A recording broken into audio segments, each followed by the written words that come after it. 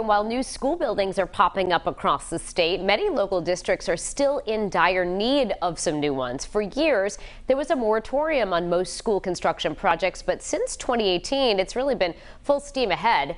New this morning, Kate Walsh is joining us with how voters are going to decide the future of the state of our schools this November.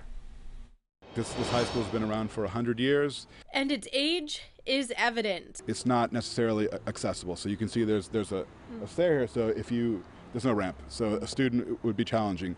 Inside is arguably worse, the auditorium literally falling apart. Stuffy, undersized classrooms equipped for the past. So, how do you transform this century old Central Falls High School to, say, this state of the art East Providence High School? Money.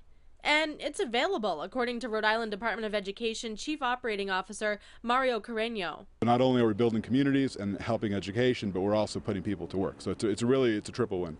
Carreño said state lawmakers allocated $50 million from a state surplus in last year's budget to be used for future school construction projects.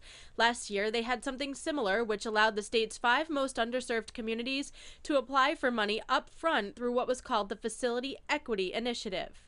The Facility Equity Initiative made it possible so that every classroom here at Calcutt Middle School in Central Falls could get brand new furniture. And the best part of it is all of the furniture, the chairs, the tables are kid and teacher approved. We walked the halls and saw how the money also transformed entire labs and classrooms. Additionally, all Rhode Island voters will determine this November if the state should allocate another $250 million in tax money for school construction the statewide bond benefits everyone. So it's mm-hmm. not like it just goes to one community or another. If you look at the breakdown of the previous bond, over 45 communities, including charter schools, receive funding. So we anticipate the same will happen with this next with this next bond. On top of that, specific communities will ask voters if they want the community to spend a portion of a shared 1.3 million dollars in bonds. The less affluent a community, the bigger the share that the state pays.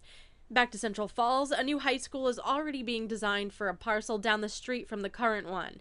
Just one example of a similar story we're seeing in cities and towns across the Ocean State. In Central Falls, I'm Kate Walsh, 12 News.